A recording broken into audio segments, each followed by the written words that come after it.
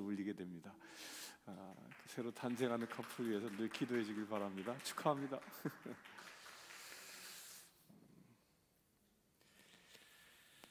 아, 성부와 성자 성령의 이름으로 말씀드립니다.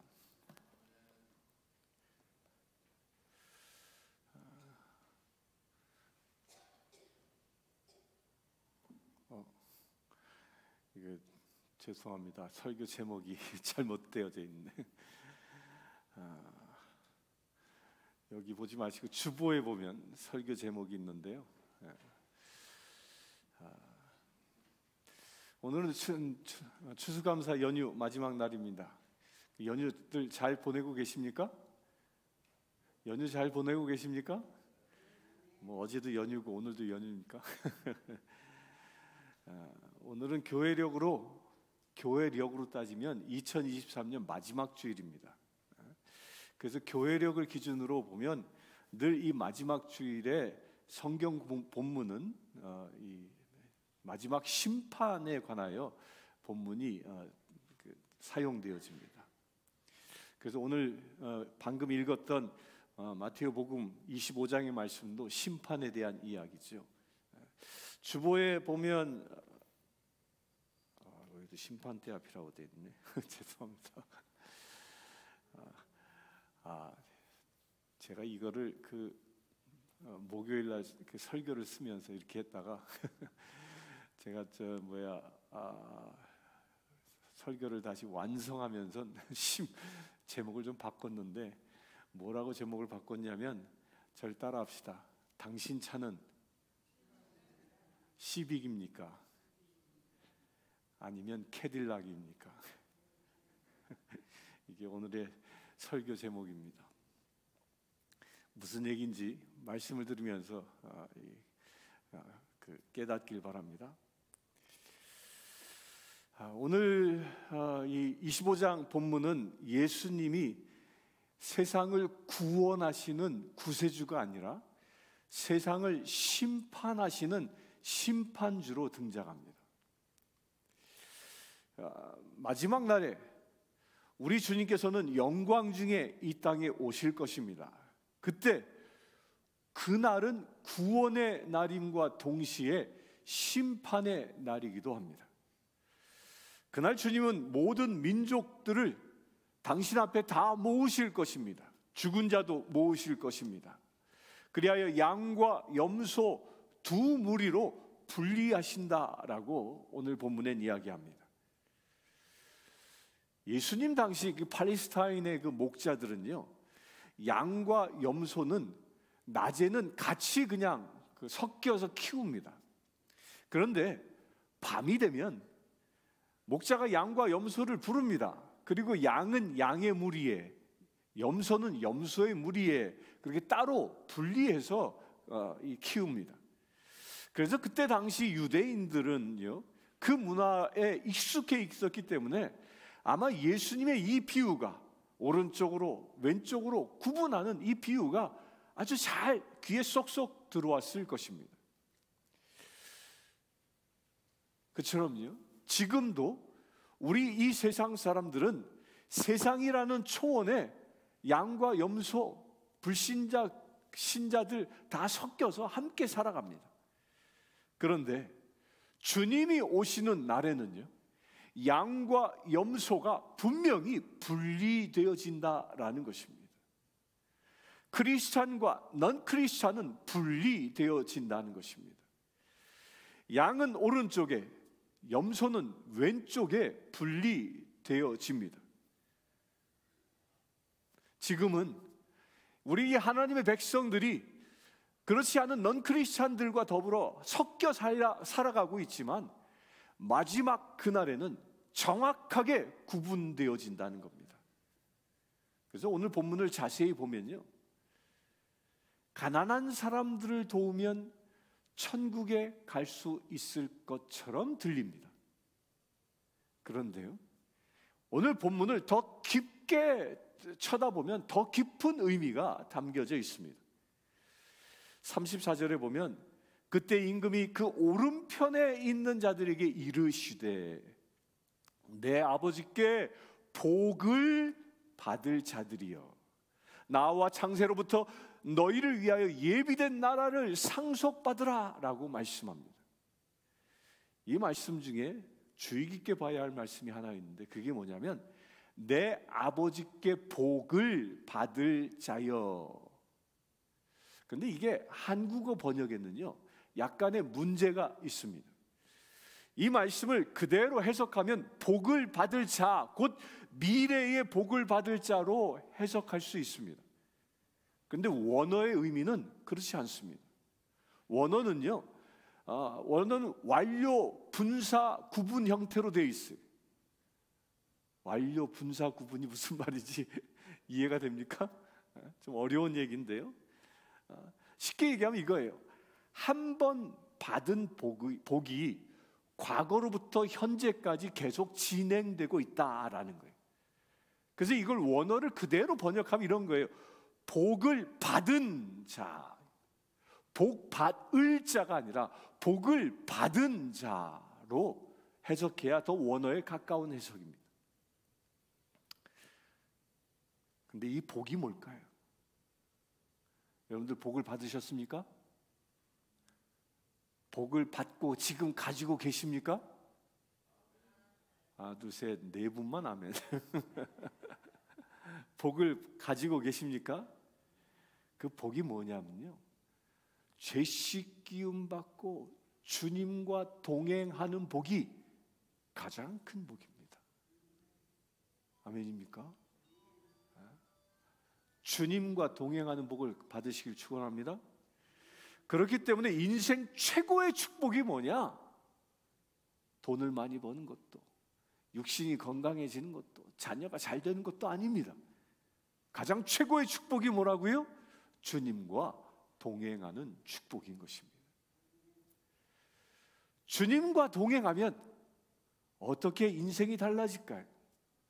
우리가 주님과 동행하면 우리가 주님을 닮은 삶을 살아가게 되는 것입니다. 이게 바로 양의 모습입니다. 구원받은 양들의 삶에서 그들을 구원하신 예수님의 모습이 나타나 보여지게 된다는 것입니다. 그래서 예수님의 마음을 가지고 그 예수님의 모습을 세상에 풍기고 이것이 연약한 형제들을 돕는 그런 자리에서 나타나 보여진다 는 것입니다. 그래서 오늘 본문 35절과 36절에 보면요. 아, 여섯 가지 선행에 대하여 말씀하고 있습니다. 첫 번째가 뭐죠? 배고플 때 뭘 줬습니까? 배고플 때 먹을 걸 주었지요. 목마를 때 마실 것을 주었습니다. 나그네 되었을 때 그를 영접했습니다. 헐벗었을 때 옷을 입혔습니다. 또한 병들었을 때 돌보아 주었습니다. 옥에 갇혔을 때 그를 보살펴 주었습니다. 근데 이 선행에 중요한 포인트가 뭘까요? 우리 주님이 말씀하시는 형제 사랑은요, 그냥 생각으로 마음으로 갖고 있는 그런 추상적인 개념이 아니라는 겁니다. 이 형제 사랑은요, 아주 구체적으로 실질적인 도움으로 어? 나타나고 있다라는 것을 우리가 알 수 있는 것입니다. 사랑은 생각이 아닙니다. 사랑은 뭘까요? 행동으로 보이는 것이라는 거예요.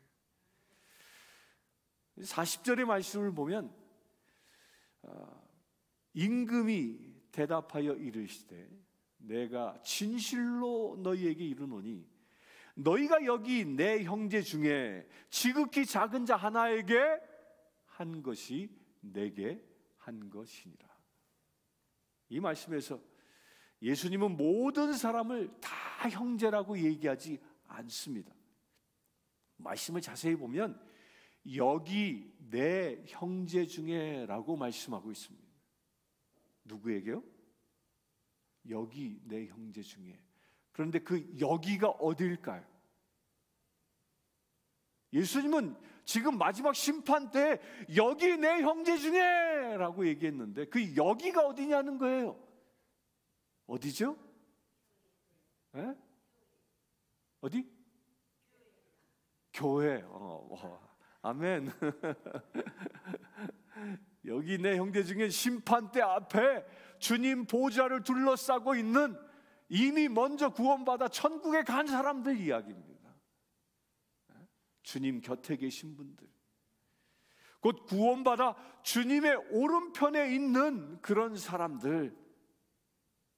믿음의 선지자들, 믿음의 선견자들, 먼저 주님의 나라에 간 사람들. 그런 사람을 말합니다. 따라서요, 여기에 있는 사람이란 누구냐면 본인이 게을러서 줄인 자가 아닙니다. 본인이 죄를 지어서 옥에 갇힌 사람이 아닙니다. 주님의 사람으로 살기 위해서 가난해진 사람입니다. 주님의 사람, 사람으로 사명을 다하기 위해서 옥에 갇힌 사람을 말하고 있는 것입니다. 여러분들요, 산상수훈의 그 팔복을 잘 알고 계시죠? 팔복에 뭐라고 얘기합니까?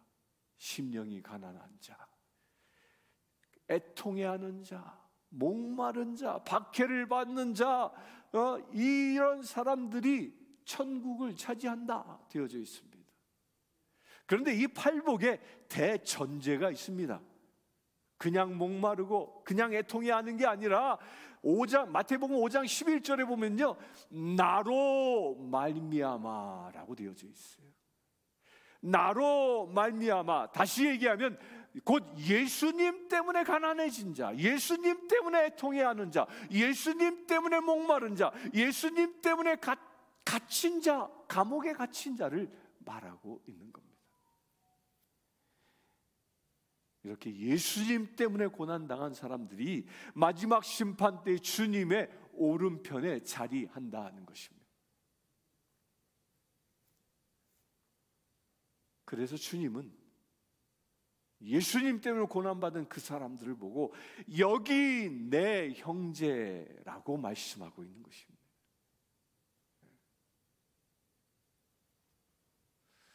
사도 바울은 일생을 복음을 전하면서 엄청나게 고난을 겪었습니다. 바로 바울과 같은 사람이라는 거예요.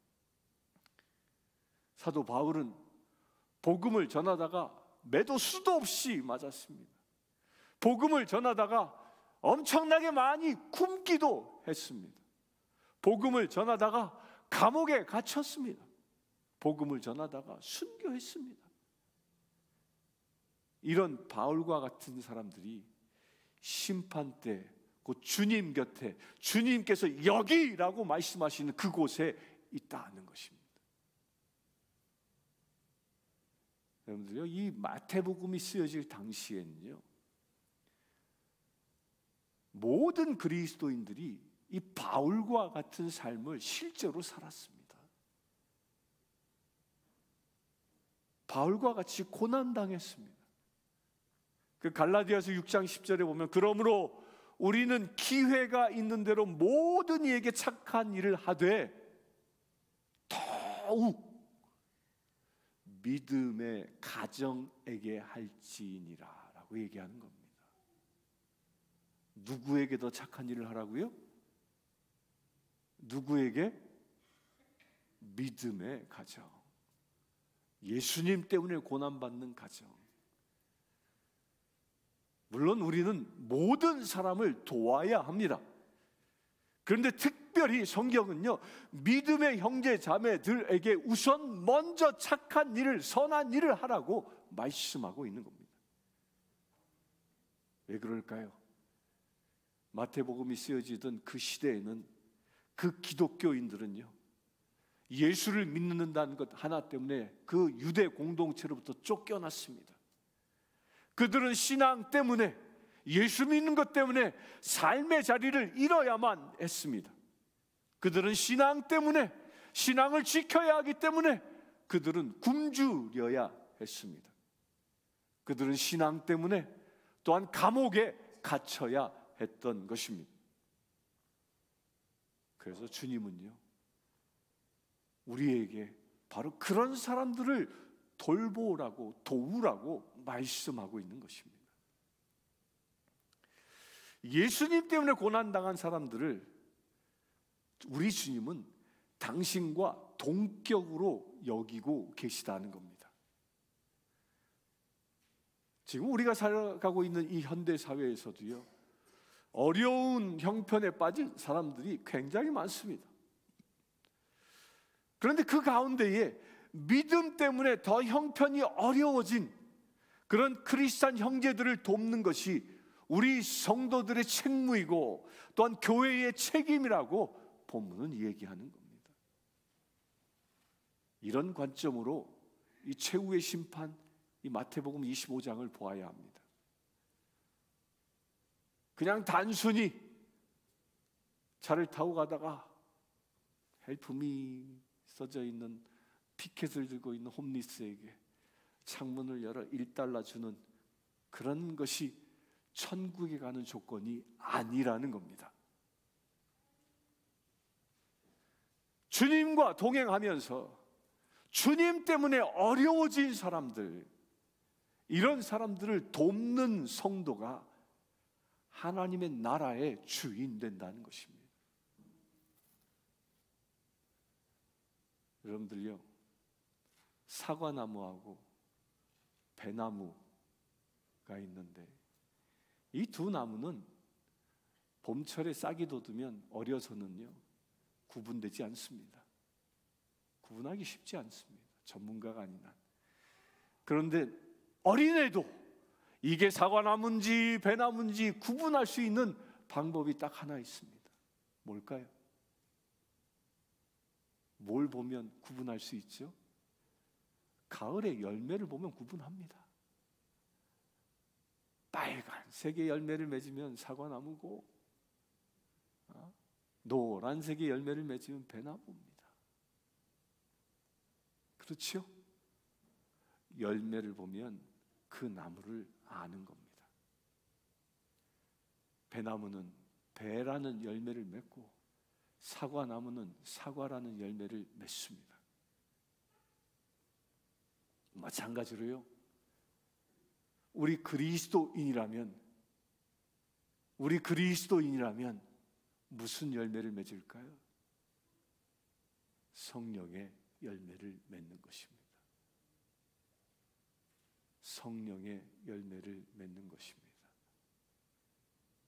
성령의 열매를 맺는 것입니다. 아멘이십니까? 그리스도인이라면 어려움에 처한 사람들, 특별히 예수님 때문에 고난당하는 사람들을 그 돕는 열매들이 풍성하게 맺어야 하는 것입니다. 이것이 사랑의 열매이고요. 극률의 열매입니다. 우리 교회에서는 지난 당회 때 아주 은혜로운 결정을 하나 했습니다. 예수님 때문에 고향을 떠나야만 하는 그런 사람들을 우리가 좀 돕자. 예수님 때문에 고난당하는 사람들 돌보는 선교사를 우리가 좀 후원하자. 그렇게 결정했습니다. 이 선교사님은 지금 화약고 가운데 있는 저 요르단에 거기서 사역을 하면서 특별히 난민들을 돌보는 일을. 이분들은 예수님 때문에 온 가족이 조국을 떠나 이국 땅에 들어와 어렵게 살아가고 있는 크리스찬 난민들을 돕는 사역을 합니다. 이 크리스찬 난민들에게 조금이나마 도움이 되고자 하는 마음으로 우리 교회는 선교 지원금을 보내기로 결정했습니다. 이 선교사님이 저에게 기도 편지를 하나 장문의 편지를 보내왔는데 그 편지 가운데 잠깐 한 스토리를 전해드립니다. 이분이 감옥에 갇혀 있는 재소자를 찾아가 선교하면서 일어난 일입니다. 이렇게 써 있습니다. 에디오피아 출신의 한 자매, 그는 크리스찬입니다. 그녀는 불법 체류 했다는 이유로 지금 감옥에 수감 중입니다.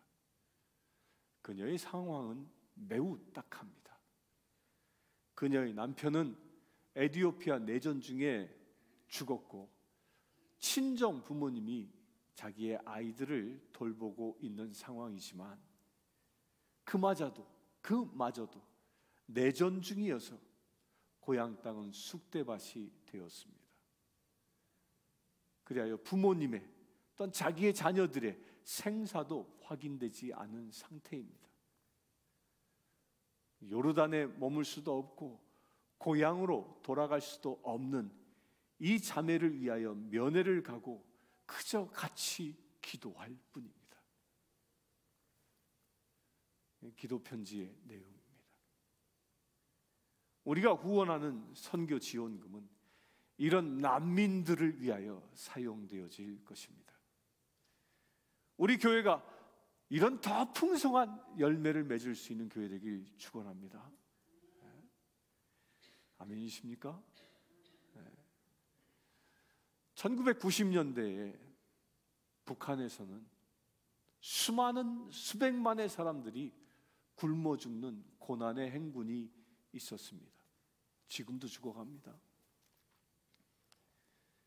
그런데요, 북한 선교를 하는 선교사들의 보고에 의하면 북한의 지하교회 성도들은 대부분 이 고난의 기간 동안에 굶어 죽지 않고 살아남았다고 합니다. 당시에 북한 사람들은 먹을 것이 없었기 때문에 자기 한 몸 챙기기도 어려운 그런 형편이었습니다. 공산주의자들은요, 아주 이기적이어서 나누지 않고, 그리하여 나누지 않았기 때문에 수많은 수백만의 사람들이 굶어 죽었습니다. 그런데 놀라운 것은 북한 지하교회의 그 성도들은 콩 한쪽이라도 같은 성도들끼리 나누어 먹었다고 합니다. 그래서 그들이 살아남을 수 있었다고 선교사들은 이야기합니다. 여러분들요, 우리는 경제력이 모자라서 죽는 게 아니라 이기적이기 때문에 죽는 것이라는 거예요. 계시록에서는 마지막 대환란의 시기가 닥치면 사탄의 표지인 666 표지를 받지 아니하면 물건을 사지도 팔지도 못하는 그런 시대가 올 것이라고 예언합니다. 여러분들 이 시대가 온다고 생각해 보십시오.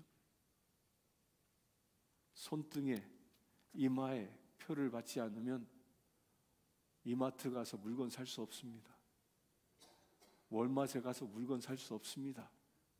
크로고에 가서 살 수 없습니다. 이런 때가 닥친다면 어떻게 살아남을 수 있을까요? 바로 이런 때 신앙을 지키며 살아남을 수 있는 비밀이 무엇이냐? 그게 바로 성도들끼리 서로 돕는 거라는 거예요. 문제는 이렇게 서로 돕는 것이요. 한순간에 이루, 이루어지는 것이 아니라는 겁니다. 오늘 본문의 37절과 39절에 보면요. 의인들의 질문을 우리가 주목해 봐야 합니다. 주여, 우리가 어느 때에 주께서 줄인 것을 보고 음식을 대접했으며 주께서 목마르신 것을 보고 마시게 하였나이까? 어느 때 나그네 되신 것을 보고 영접하였으며 헐벗으신 것을 보고 입혀, 옷을 입혔나이까? 어느 때 병든 것을 병든 것이나 옥에 갇히신 것을 보고 그를 배웠나이까? 가서 배웠나이까? 양으로 주님의 오른편에 선 그 의인들은요, 자신들이 행한 선한 행위들을, 그 선행들을 기억조차도 하고 있지 않고 있다는 거예요. 기억도 못 하는. 왜 선행을 했음에도 불구하고 기억하고 있지 못할까요? 왜냐면요. 양들은 그 선한 일을 하는 게 너무도 자연스러운 그런 삶의 방식이었기 때문에 그 삶의 일상이었기 때문에 기억하지 못하는 겁니다.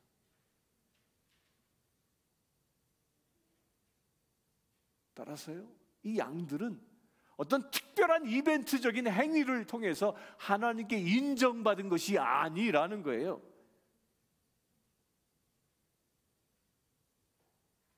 그들은 하나님의 은혜로 구원받은 사람들이기 때문에 그들 안에 누가 계셔요? 성령 하나님의 그 은혜가 가득했던 것입니다. 그래서 착한 일을 하기 위해서 억지로 남의 의, 남의 시선을 의식하며 그렇게 노력했던 것이 아니라는 겁니다.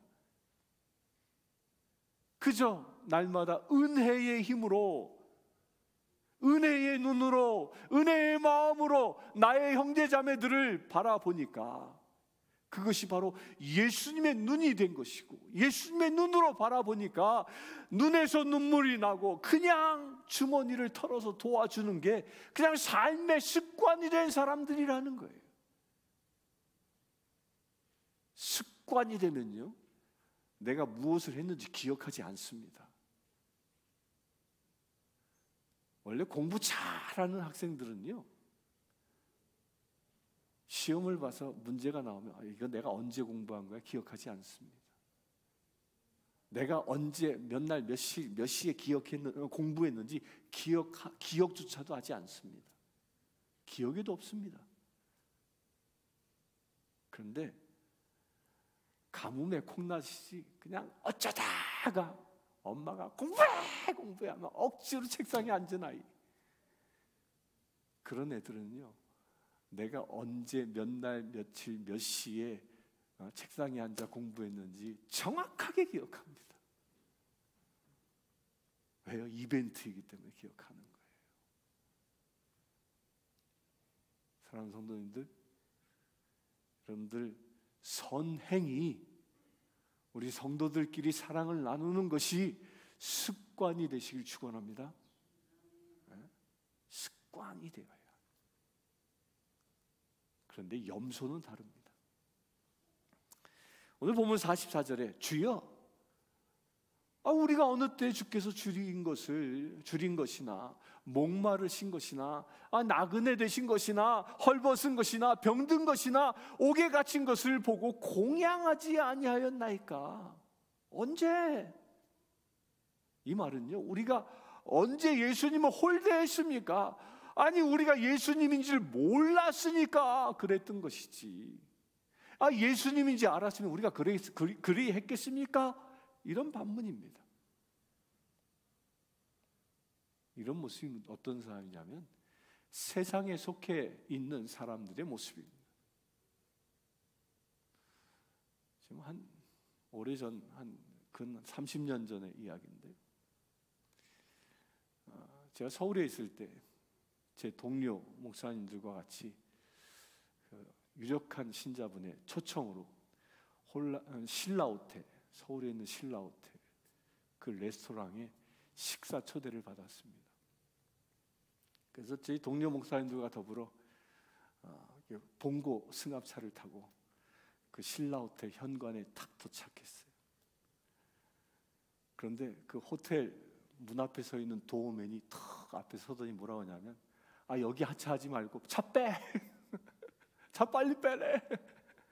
그저 주차장 가서 하차하라고. 아주 불쾌한 어조로 운전자에 그렇게 문도 못 열게 하고요. 어, 그 어떻게 여기서 차를 빼서 주차장으로 다 갔지요.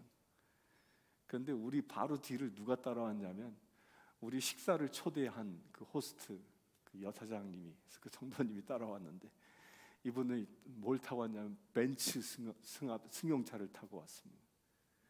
이 벤츠가 쫙 들어오니까 도어맨이 탁 뒷문을 막 아, 인사하고 막 공손하게 아, 문을 열고 영접하는 겁니다.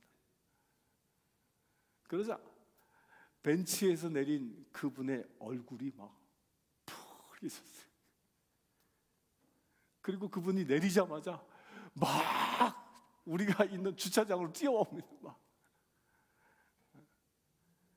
그리고 나서 어, 승합차에서 내리는 우리들에게 막 어쩔 줄 몰라며 어, 사과하면서 아유 내가 막 어, 신뢰를 범했다고 자기가 신뢰한 것도 아닌데 그러면서 우리를 아주 공손하게 호텔로 이렇게 안내해 갔습니다. 근데 이 광경을 누가 보고 있었을까요? 그 도우맨이 쳐다보고 있었어요. 그 도우맨이 어, 우리를 지켜보고 있는데 저 지금도 그 표정이 생생해요. 얼마나 놀랬는지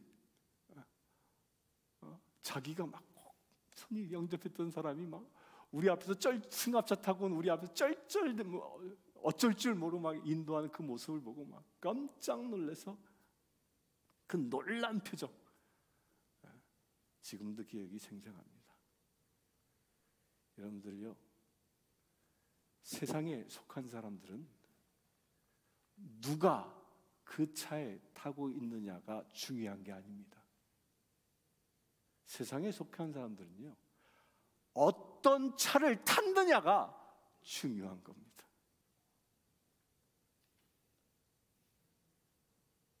미국의 제일 흔한 차 중에 하나가 혼다 시빅이더라고요. 그 자그마한 시빅 자동차에 바이든 대통령이 타면 그 차는 뭘까요? 그 차는 미국 제1호 차입니다. 예. 그런데 아주 커다랗고 멋있는 그 캐들락에 깽 두목이 타고 있다면 그 차는 뭘까요? 그 차는 수배 차량입니다.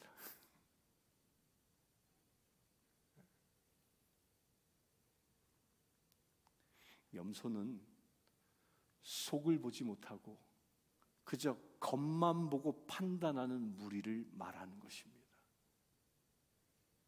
이런 사람들은 자기 자신에게 어떤 이익이 오지 아니한 남을 돕지 않습니다. 근데 이런 얘기를 하면 뭐 보통 이렇게 대꾸합니다. 아니요. 아, 인심은 곳간에서 난다고 하는데 내가 부자도 아닌데 어떻게 이웃을 도우란 말입니까? 아, 내 한 몸 살기도 바쁩니다. 이렇게 얘기합니다. 근데 이 핑계가요, 얼마나 모순인지는 여러분들 신문 기사나 뉴스를 보면 금방 압니다.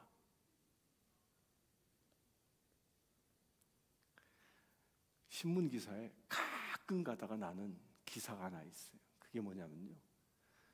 세상의 부자가 구제 사업을 한다는 기사를 가끔 봅니다. 근데 왜 그것이 기사화된지 아세요? 신문 기자들이 기사를 쓰는 원칙이 있어요. 그 중에 하나가 뭐냐면 개가 사람을 물으면 기사화되지 않습니다. 왜? 늘상 일어나는 일이니까. 그런데 사람이 개를 물잖아요. 그러면 기사화됩니다. 왜일까요? 일상에서 일어날 수 없는 어? 아주 특별한 일이기 때문입니다.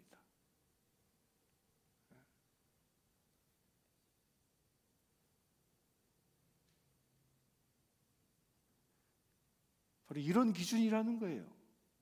어떤 부자가 어려운 이웃들을 돕는 일이 기사화 되어졌다라는 것은요, 그게 일상의 일이 아니라 특별한 일이기 때문에 기사화됐다라는 것입니다.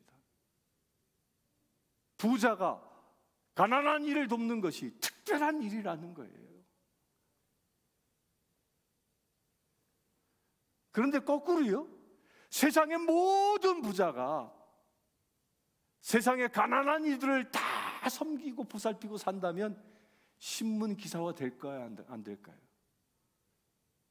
신문에선 단 한 자도 쓰지 않습니다. 왜냐? 일상적인 일이기 때문에. 근데 우리 세상은 그렇지 않다는 겁니다. 그래서 우리 그리스도인들이 진정 만들어 가야 할 세상이 바로 어떤 세상일까요? 어려운 자들을 돕는 것이 일상인 세상을 만들어 가야 한다는 것입니다.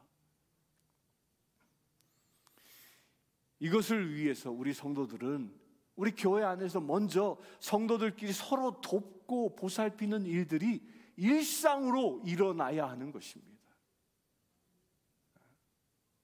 우리 옆 사람들에게 고백합시다. 오늘부터 나는 당신의 종이 되겠습니다. 시작. 뭐 그러고 싶지 않은가 봐. 일상으로 섬기길 바랍니다.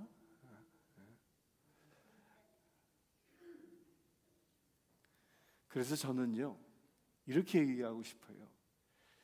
인심은 곳간에서 나오는 게 아니라, 인심은요, 은혜 받은 사람에게서 나오는다. 인심은 누구에게 나온다? 은혜 받은 사람에게 나오는 것입니다. 아멘이십니까? 곧 은혜 받은 사람, 은혜 받고 받은 사람이 지갑이 열리는 것입니다. 아멘이십니까? 네. 사랑하는 성도 여러분, 선한 일, 이 선행은요, 내가 많이 있어서 부자가 있어서 하는 것이 아닙니다. 오직 내게 은혜가 있기 때문에 선한 일을 하는 것입니다. 주님이 내 안에 계시면 우리는 주님의 눈으로 세상을 봅니다. 주님이 내 안에 계시면 우리는 주님의 눈으로 우리의 성도들을 서로 보고 돕는 자가 되는 것입니다. 주님이 내 안에 계시면 교회를 넘어 나의 이웃들을 보고 살피게 되는 것입니다. 주님이 내 안에 계시면 마지막 때 우리 주님을 심판주로서가 아니라 나를 구원하는 구원자로 만날 수 있게 되는 것입니다. 그리하면 우리 모두 마지막 날 심판 때에 양으로 구분되어져 천국의 주인이 될 줄 믿습니다. 사랑하는 성도 여러분, 지금 여러분 안엔 주님이 계십니까? 기도하겠습니다. 주 아버지 하나님, 천지 창조 이전부터 주께서는 우리를 양으로 계획하시고 세상을 살아가게 하셨습니다. 또한 구원받은 것뿐만 아니라 주님께서 우리에게 성령의 기름 부으심을 더하여 주셔서 주님의 열매, 성령의 열매, 선한 열매를 맺으며 살아갈 수 있도록 허락하시네 감사합니다. 주님, 주께서 내 안에 계시오니 하늘나라의 열매가 우리의 삶 가운데 맺혀지게 하여 주시옵소서. 주님이 내 안에 계시오니 이제 내가 산 것이 아니라 그리스도가 내 안에 사는 축복이 우리에게 임하게 하여 주시옵소서. 우리 주 예수 그리스도의 이름으로 기도드리옵나이다. 아멘. 모두 다 함께 일어나서 235장